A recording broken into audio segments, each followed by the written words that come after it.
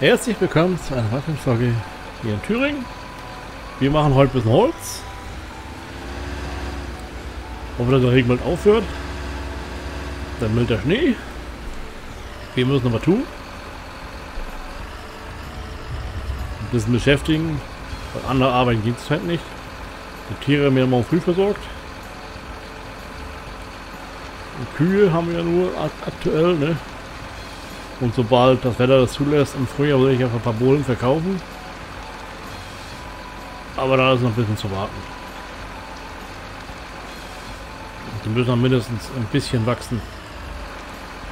Und bei dem Wetter will man wirklich kein LKW fahren. Ne? Straßen sind teilweise weiß. Und LKW mit, äh, mit schweren Tieren hinten dran. Ne? Ja,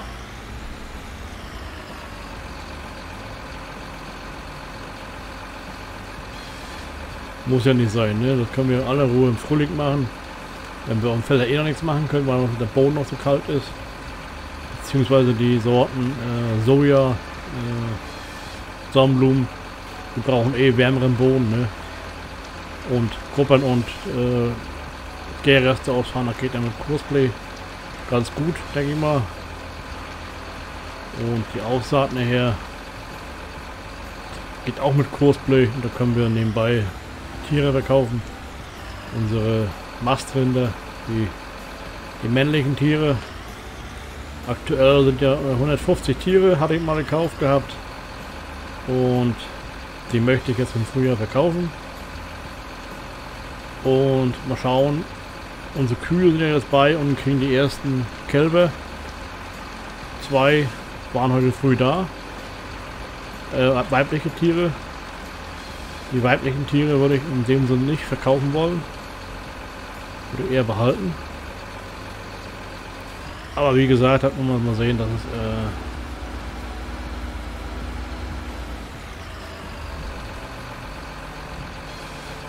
Aber wenn wir, sobald männliche Tiere kommen, dann würde ich sie gerne umstallen.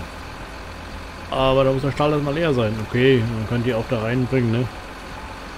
Das ist ja hier eh nur symbolisch gedacht. Also das ist auch nicht so, dass man jetzt sagen würde, ja, ja sie würden sich an umbringen, aber das interessiert nur die Stückzahl, ne? Ja, langsam wird dunkel hier, ne? Aber wir haben ja Licht, ne? Richtig schön hell. Im Winter, wenn der Schnee liegt, dann ist es richtig deutlich zu sehen, dass hell ist nicht hell. Ne? Gut. Aber wie gesagt, die Fall, es wird aktuell voll Regen. Aber er meldet wieder Schnee und wieder kälter. Also 1 Grad kälter geworden.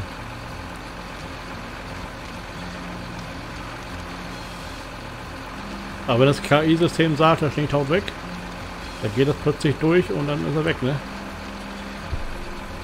Aber ich denke mal, so schnell taut er nicht weg. Wir werden eher noch 9 dazu kriegen heute Nacht. Das werden wir sicherlich in der nächsten, nächsten Aufnahmesession erleben, aber da kommt schon der Frühling, ne? Und nachts geht es auf 30 bis 60 hoch. Da tun wir nicht an. So dunkel ist. Wenn Ziegen da zulassen würde, würde ich sogar schlafen gehen. Ab 10 sagen wir so ungefähr bis früh um 6 Uhr.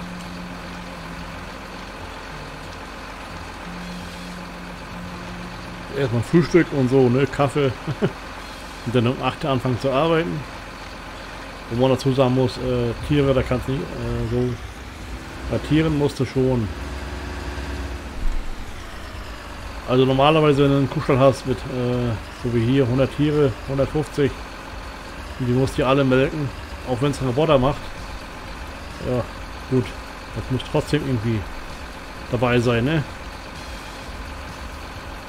Zumindest musst du bereit sein, um mal reinzuschauen. Du kannst nicht äh, 7, 8 Kilometer entfernt irgendwo im Acker rumher tanzen und dann nebenbei Kühe beobachten. Das wird, glaube ich, nicht funktionieren.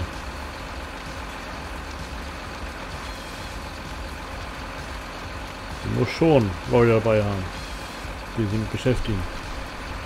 Auch schon aus äh, Sicherheitsgründen, dass da einer nicht alleine im Stall umherwirft. Ne? Also zwei, drei muss schon haben. Weil Wenn mal einer krank wird, dann musst du ja immer Reserve haben. Gerade bei, bei Tieren, da kannst du nicht sagen, ja, machen wir zu, geht nicht. Ne?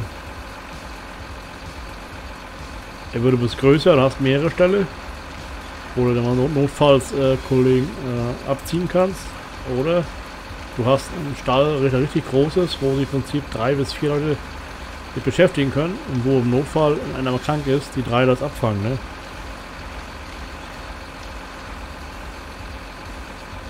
Denn Menschen sind halt nicht Maschinen. Die werden mal, die werden auch mal äh, ja, mal auch mal Urlaub haben wollen, ne?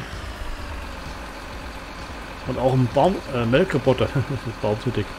Auch ein Melkroboter musste äh, immer im Auge behalten, dass die immer funktionieren, ne?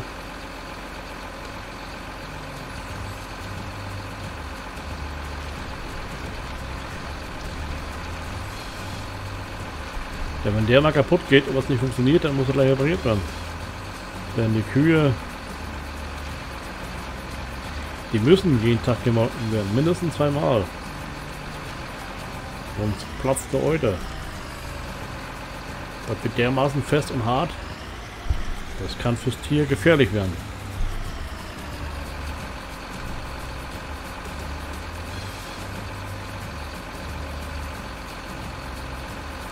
Gibt es eine Entzündung und dann ist es ja, Milchproduktion hinüber, ne? Also dann fällt die Kuh aus als Milchproduzent. Wieder schlecht. Also ist besser, wenn die Maschinen unter Aufsicht sind und entsprechend immer repariert werden. Im Fall des Falles, ne? Und weiß ich ja nicht, wie das ist mit äh, zwei Maschinen haben oder eine, keine Ahnung. Trotzdem. Ohne Aufsicht geht auch nichts.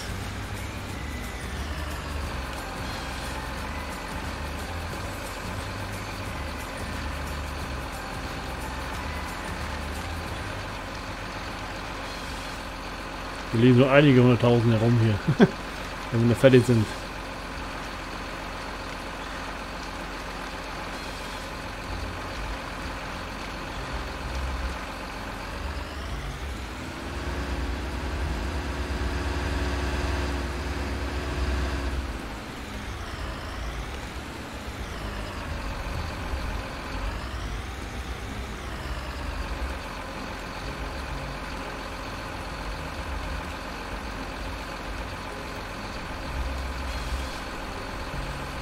So.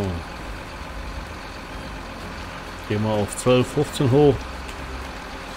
Ob die Nacht schon mal anfangen voranzukommen.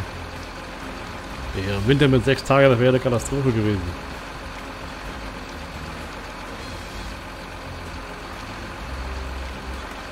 Wie gesagt, das, ist, das geht mir ganz schnell. Auch im Sommer kann man den, den Tag, wo man ernten will, auf einstellen und schon geht auch.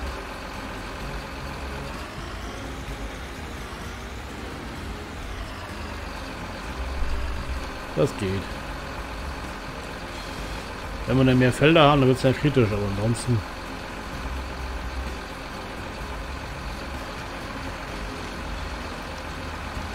Wir haben hier keine Produktion, da ist überhaupt kein Problem. Und selbst da haben wir genug Zeit. Wenn du noch einspielst, dann hast so viel Zeit.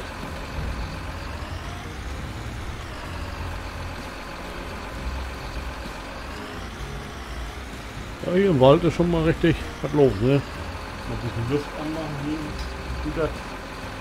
Klein, klein Ventilator. Die warme Luft wegdrückt. Hilft. Jetzt aktuell bei 87, äh, 82 Prozent die Grafikkarte. Insgesamt 86. Ja. Ja. Wird schon mal warm, ne? Da braucht keine Heizung anmachen.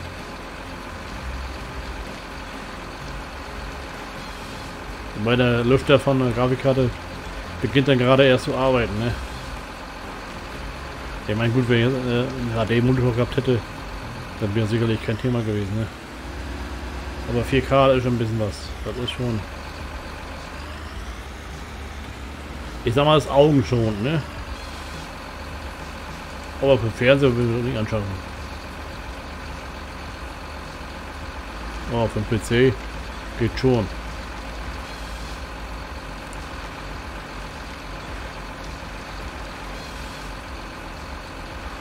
Oh, ein paar Jahre muss er noch halten, den Monitor. Obwohl ich ja eigentlich schon was anderes haben möchte, aber das ist trotzdem äh, ja, zum einen zu teuer und zum anderen, äh, was mich davon abhält, ist, dass es noch äh, garantiert beginnt gerade mit Entwicklung mit HDR und das äh, wollte ich mal abwarten, was da alles kommt. Und wenn jetzt mehrere auf den Markt kommen und was raufbringen, äh, dann fallen auch die Preise. Ne? Also da bisschen warten. Meine Befürchtung ist ja auch, dass bei größer der Monitor wird und mehr Leistung er hat, wird früher komme ich an der Grenze der Grafikkarte, obwohl die eigentlich top ist. Und da kommt eher die, die Frage näher, brauchst du einen größeren Rechner mit mehr Leistung, ne? Ja, dann sind eher schon äh, sehr teuer.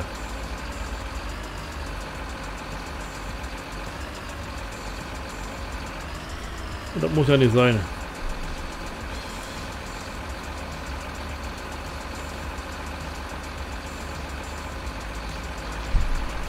da das alles Hobby ist, geht es nicht von der Steuer abzusetzen. Ne? Ob es überhaupt gehen würde, weiß ich gar nicht. Also Zusage, aber das wäre nicht schlecht, wenn du jetzt im Jahr sagst, okay, ich hast einige tausend Euro für, für Absetzen, ne? Wohl muss trotzdem immer ausgehen, ne? Und dann kriegst du ja auch nur einen Bruchteil von dem wieder, so das ja auch nicht, ne? Aber wird so viel nicht sein, das glaube ich, ist das nicht. Eher, dass du äh, wahrscheinlich mehr Steuer zahlen müsstet dann, ne, wenn du ins Gewerbe anmelden würdest.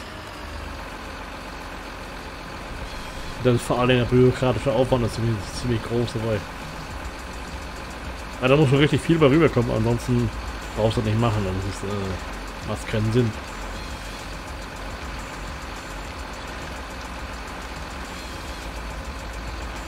Aber das ist, äh, steht in weiter, weiter Ferne denke mal eher nicht.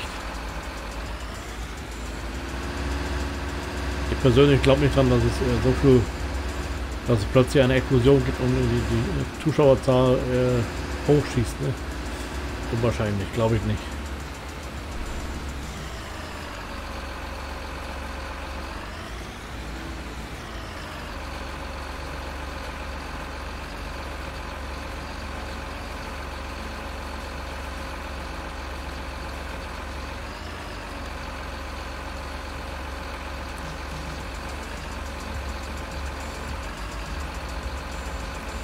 So dick.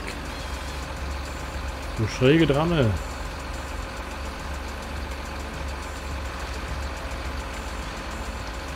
Ja, dunkel ist es blöd, aber was machen.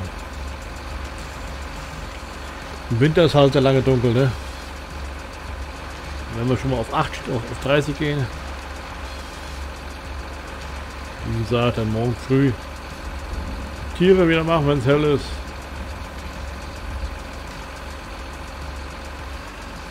Äh, Wasser haben die Notfall mit der Pumpe. Fällt mir gerade so ein. Aber Wasser reicht dann meistens auch für zwei Tage aus. Also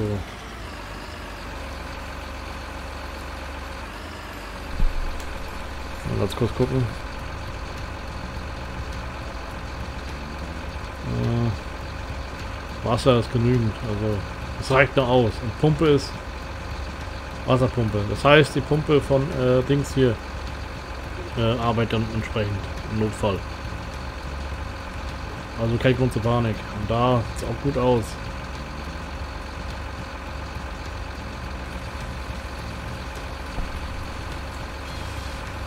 Wenn ich keine Pumpe gehabt hätte, wäre schon ein bisschen kritisch. Ne? Da wäre es äh,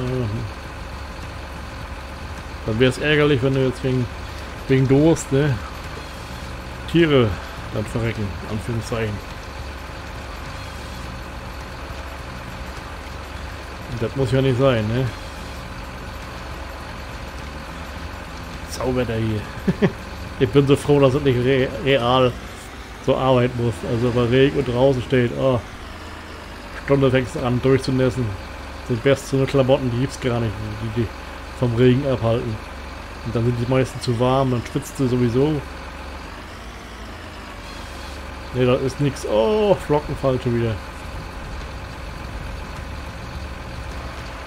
Ah, der meldet. Oh, er meldet trocken. Gott sei Dank auch.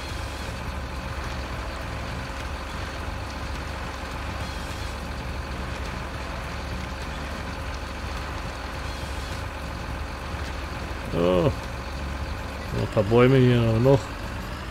So, liebe Schauer, das soll es für heute gewesen sein. Ich mache mal eine Folge genau noch Zeit. Äh, tun wir dir keinen Gefallen, wenn wir jetzt zu lange machen, ne? Dann sage ich mal Tschüss und Winke, und ciao. Und schönen Dank fürs, fürs Reinschauen. Könnt auch mal abonnieren und liken, falls einer mal jetzt die macht, Tage. Kann ja was sein.